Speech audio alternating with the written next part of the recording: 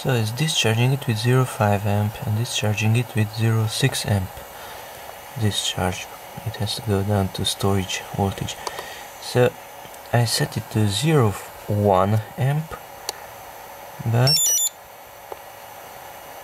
from 0.1 amp it jumps up to 0.5 amp.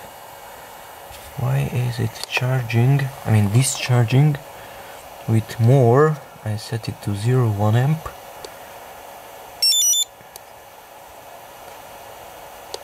Why is it discharging with much more amperage than is set to?